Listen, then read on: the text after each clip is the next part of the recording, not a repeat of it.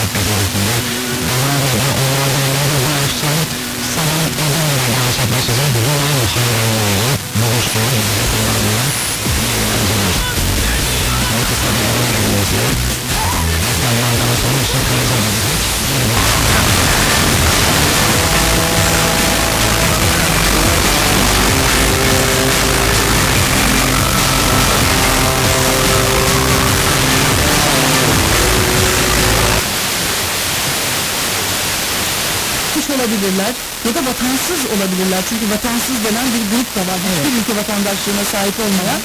Böyle bir e, pozisyonda olan Türkiye'de doğmuşsa e, o da Türkiye Cumhuriyeti vatandaşı olabiliyor. Kendi ülke vatandaşları, vatandaşlıkları